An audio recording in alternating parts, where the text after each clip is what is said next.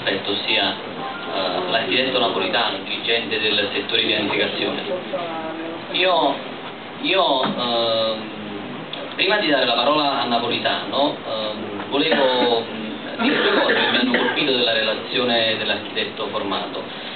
Si è parlato ovviamente di spazi pubblici immateriali, ovviamente noi siamo qui stasera per parlare di spazi pubblici materiali, di cose concrete, eh, che vorremmo vedere realizzate nel più breve tempo possibile. E allora passo la parola a Napolitano eh, dicendo questo. Eh, L'architetto Formato diceva fare cose realmente. Eh, questa sera noi lanciamo quest'idea. Ammesso che quest'idea possa suscitare interesse eh, nelle parti politiche e nella cittadinanza, quali sono e quante sono le, poss le possibilità, le probabilità e soprattutto i tempi affinché quest'idea possa essere realizzata? Prego, Salvatore. A tutti. Sì. Salve a tutti. Eh, allora, già l'immagine che noi abbiamo utilizzato sia per l'invito che per eh, il, il, piccolo manifesto, il piccolo, la piccola brochure che abbiamo, che abbiamo disegnato, abbiamo utilizzato una, una, una foto di un eh, di un'infrastruttura che esiste a Parigi, in pratica un sottopasso, però attrezzato a giardino. Quindi ci, sembra, ci sembrava l'esempio più coerente, da, eh, poter, eh, coerente ed esemplificativo rispetto alle tematiche che ci sono a Casorio. Eh, L'idea di questo progetto è nata eh, da una sollecitazione che è venuta dall'assessore Tignola di riutilizzare lo spazio eh, si trova all'ingresso di Casoria arrivandoci da via Padula, in pratica, in pratica eh, lo spazio che è davanti alla shopping house. Abbiamo cominciato a, a, cercare di capire quello spazio di chi era la proprietà e abbiamo scoperto che eh, è di proprietà pubblica insieme a tutta un'altra serie di spazi. In pratica tutte le aree a raso eh, contigue alla circonvallazione esterna con eh, delibera, una delibera approvata nel 2001 di delimitazione del centro abitato, tutte queste aree sono diventate di competenza e di eh, proprietà comunale. Quindi tutte le aree che eh, sono contigue alla circonvallazione esterna possono essere utilizzate dal comune per, eh, per un utilizzo pubblico. Naturalmente eh, ci sembrava riduttivo eh, occuparci solo dell'area eh, che si trova, eh, all'ingresso di Via Padula. Ci sembrava più interessante riconnettere quest'area sia alle aree contigue della circonvallazione esterna e cercare di capire che cosa si incontrava lungo la circonvallazione esterna. La circonvallazione esterna, tra l'altro, la conoscete tutti, è strada eh, è, è, la prima strada che eh, collega in modo radiale eh, in modo in pratica parallelo a Napoli rispetto a, eh, a tutti gli assi storici che collegavano Napoli con l'entroterra campano. Eh, facendo degli approfondimenti sulla circonvallazione esterna abbiamo scoperto che è eh, stata oggetto di studi anche di altri studiosi, eh, ad esempio abbiamo trovato un dottorato di ricerca eh, fatto in Svizzera dal, da, un, da, uno studioso Andreas Sokolowski nel 2004 che ha analizzato eh, le funzioni che sono sorte lungo la circonvallazione esterna da Casoria fino al lago. Eh, questi sono i laborati di, di questo studioso svizzero eh, che ha analizzato i centri urbani, le identità eh, che si sono sviluppate lungo la circonvallazione esterna. La circonvallazione esterna in qualche modo eh, eh collega tutta una serie di comuni, eh, la, la, prima corona a nord di Napoli,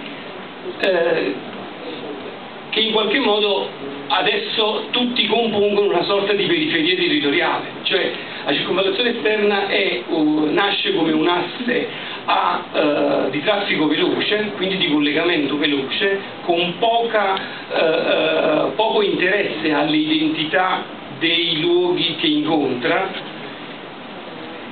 Questo tra l'altro accomuna la circonvallazione esterna alla maggior parte delle infrastrutture di tipo, di, di tipo sovracomunale, che hanno pochissima attenzione ai luoghi urbani che incontrano. Nel caso della circonvallazione esterna, tra l'altro, invece eh,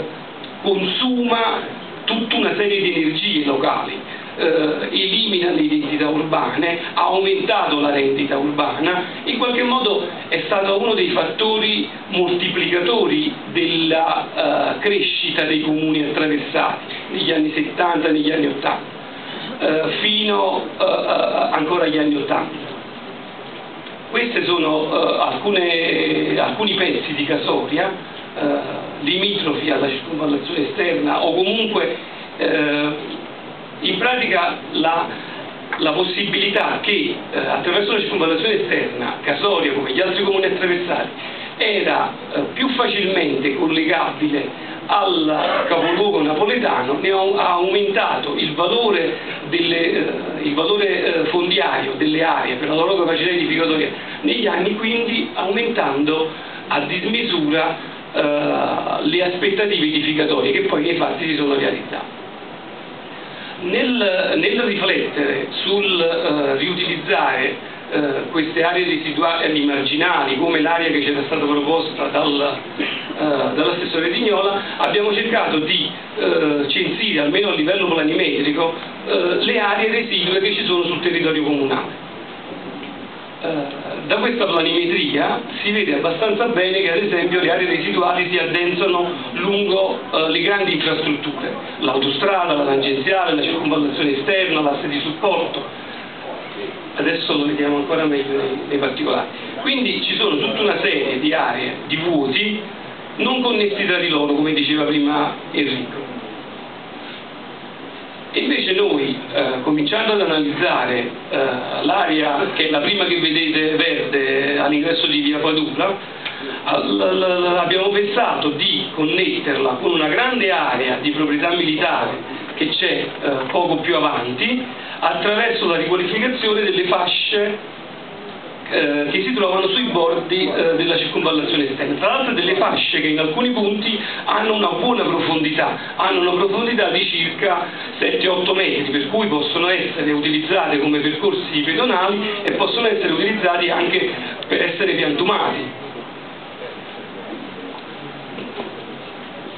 Poi eh, continuando a percorrere la circonvallazione eh, abbiamo individuato un'altra area libera eh, che è all'incrocio tra via Fermi e via Volta mi pare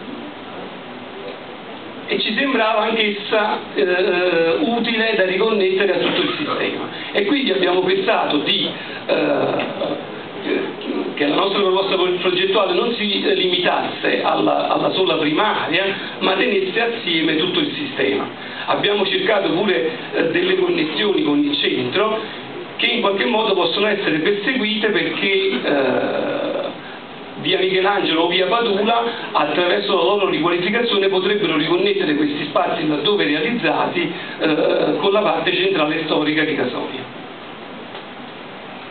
sono foto dello stato di fatto della, delle fasce contigue alla circonvallazione esterna. Eh, le ultime due foto sono quest'area di via Fermi. Poi abbiamo fatto una serie di analisi urbanistiche prima di eh, arrivare alla eh, configurazione progettuale per, per, queste aree, abbiamo cercato di capire che cosa accadeva intorno a, alle zone che erano di nostro interesse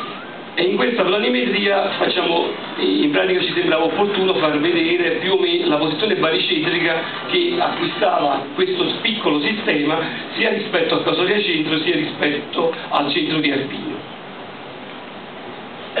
Qui già eh, facciamo vedere un po' di schemi di come, eh,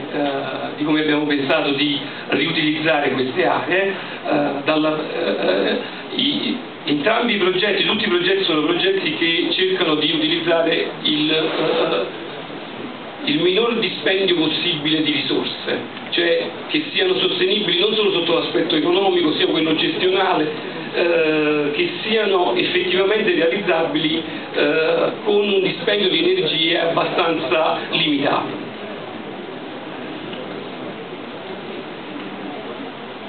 Eh, naturalmente questo tipo di approccio non è un approccio eh, soltanto eh, nostro. Nel mondo eh,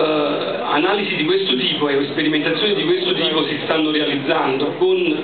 ottimi risultati eh, come la riqualificazione di alcune infrastrutture ferroviarie, la Highline che diceva prima Enrico, eh, oppure questa foto della Francia è la riqualificazione di alcuni depositi di sommergibili sulla Manica. Volendole utilizzare come spazi a verde, come giardini, abbiamo cercato di, eh, di eh,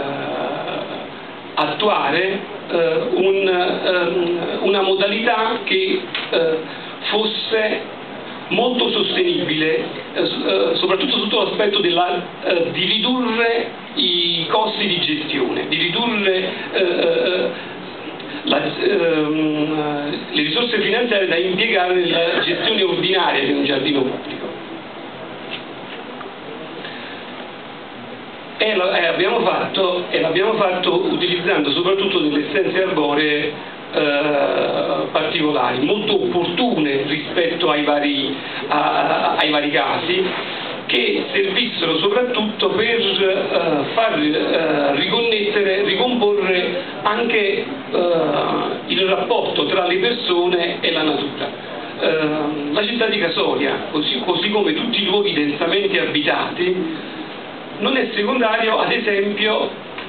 strutturare un giardino dove ci, ci posso, si possono vedere degli uccelli o si possono vedere delle farfalle o si possono vedere delle bacche che poi sono il nutrimento di uccelli per fare in modo che magari i bambini possano vedere che la natura si comporta in un determinato modo. In luoghi così densamente eh, edificati questo acquista eh, secondo noi un particolare significato. Mm, un'altra ipotesi che abbiamo fatto è quella che con dei leggeri disegni del terreno, eh, per tutti i progetti che poi eh, dopo i, eh, i collaboratori eh,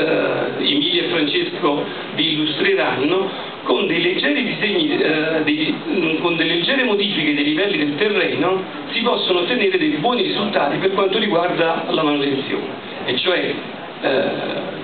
in questo caso creando degli avvallamenti si creeranno delle zone più secche e delle zone più umide dove andare a collocare delle essenze arboree che hanno bisogno di meno irrigazioni nelle parti più secche e di maggiore irrigazione nelle parti più umide.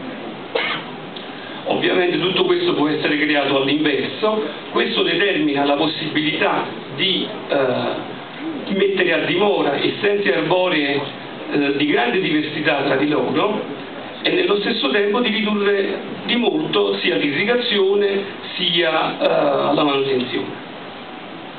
Naturalmente un giardino con questo tipo di caratteristiche ha una immagine molto diversa rispetto al giardino tradizionale. è in pratica uno, il più piccolo, l'ultimo l'abbiamo chiamato il giardino delle erbe perenni, proprio perché vengono utilizzate quasi esclusivamente delle erbe, delle erbe, delle erbe perenni